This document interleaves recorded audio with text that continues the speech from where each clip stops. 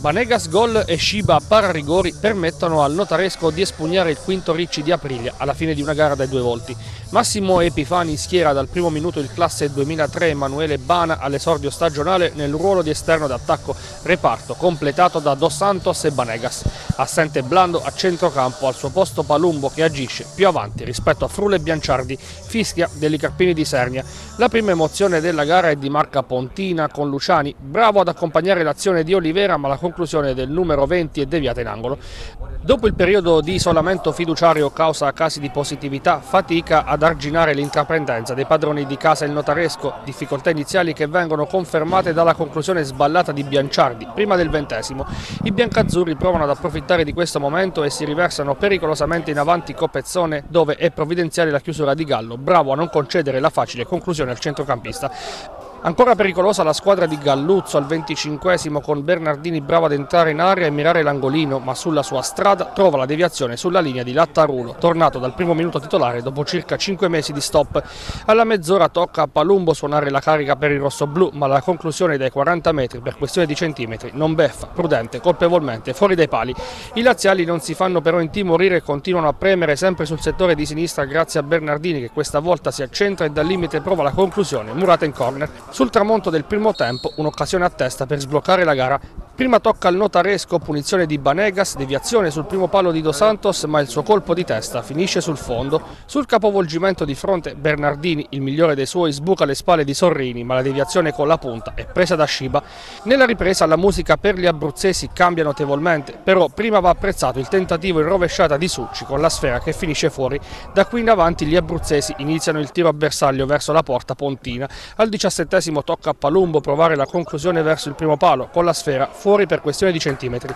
Tripla occasione per i Teramani al 26esimo, il primo a provarci è Palumbo con la sfera ribattuta dalla difesa, Pallone che arriva sulla testa di Dos Santos che testa, i riflessi di Prudente, la palla arriva a Banegas che a porta spalancata calcia incredibilmente fuori, ma il gol è nell'aria e arriva alla mezz'ora su calcio di rigore procurato da Mancini entrato in campo da 20 secondi. Dal dischetto è perfetta l'esecuzione di Banegas che fa 14 in campionato. Le emozioni non finiscono perché al 45 Cancelli mette a terra un avversario in area di rigore e Deli Carpini assegna il penalty ai padroni di casa. Dal dischetto Bosi si fa ipnotizzare da Shiba, bravo a intuire l'angolo giusto. Dopo 5 minuti di recupero fa festa il notaresco, a cui giungono belle notizie dal nuovo Romagnoli di Campobasso con la vittoria della Cinzia che proietta la formazione abruzzese a due punti dai Molisani prima dello scontro diretto del prossimo 1 aprile al Savini.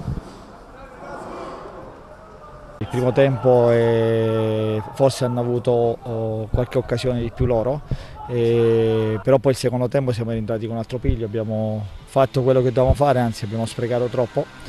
e, e poi credo che abbiamo vinto meritatamente anche se alla fine siamo stati fortunati sul calcio di rigore dove Clevis è stato bravissimo a pararlo però credo che l'andamento della gara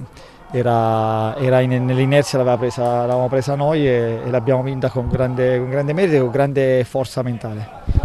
Di solito il Covid è toglie tanto alle squadre quando non possono scendere in campo, possiamo dire che questa volta il Covid è anche un alleato del notaresco perché Shiba non doveva esserci oggi se il Covid non vi fermava. Sì, ne parlavamo prima nello spogliatoio, sono i casi strani della vita, il ragazzo ci teneva tantissimo ad andare in, in nazionale e noi ci tenevamo tanto per lui perché innanzitutto se lo merita per quello che sta facendo, e, però poi il caso ce, l'ha ridato e siamo contenti oggi che ha giocato perché poi per noi Clevis in questo momento è un, è un giocatore importante come importante tutti gli altri della Rosa. E, sì, e il Covid ci ha, ci, ha, ci ha ridato qualcosa, però credo che Devo sottolineare e devo, e devo, fare un plauso alla società, allo staff tecnico perché in queste due settimane dove abbiamo avuti, avuto problemi di Covid siamo stati veramente bravi nel, nel, sospendere gli allenamenti, allenarci a distanza, fare allenamenti personalizzati, quindi siamo stati bravi e non abbiamo avuto altri, altri problemi. Di questo eh, ne siamo contenti perché è importante per il proseguo del campionato. Ecco mister, c'è la possibilità di eh, festeggiare la Pasqua in maniera perfetta per quanto riguarda il Notaresco, ci sarà questa partita dell'infrasettimanale contro il Campobasso, Campobasso che eh, eh, ha perso oggi in casa col Cinzia al Balone, ecco vi giocate questa partita in che modo? Ma come tutte le altre partite, come siamo venuti qui alla Priglia,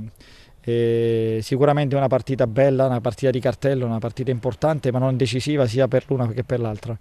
Eh, noi dobbiamo continuare a fare quello che stiamo facendo, e abbiamo una partita in casa dove dobbiamo far valere il nostro fattore campo. E, e, è una partita determinante forse a livello mentale perché se la vinciamo significa fare un grande balzo in avanti, però poi ci sono ancora tante partite